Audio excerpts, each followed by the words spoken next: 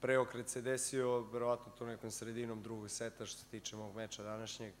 Um, bilo je dosta, da kažem, iscrpljujućih fizičkih poena.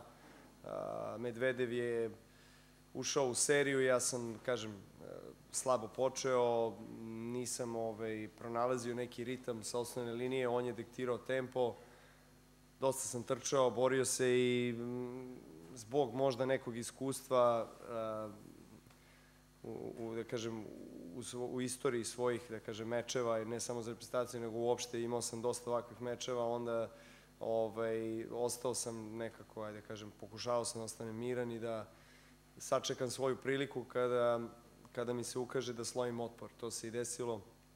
Ipak je ovo njegov debitanski meč i a, nije imao šta da izgubi od početka, stvarno je, stvarno je igrao izvrsno i jako, jako precizno i agresivno, ali sam znao da će, da će ovaj, postojati trenutak kada će malo da popusti i tu, tu je bila moja šansa.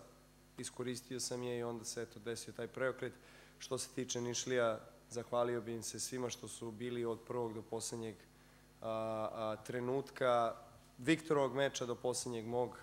Ovaj, puna je hala bila zaista ceo dan, e, nije lako ni sedeti, ni podržavati, navijati, eto, 7-8 sati za redom, ovaj, to izuzetno cenimo, zato smo i ovde, zato što je niška publika čuvena u Srbiji, ovaj, za sve sportove, tako da eto, hvala im puno i pozivamo ih naravno sutra da, da dođu da, da ponovimo.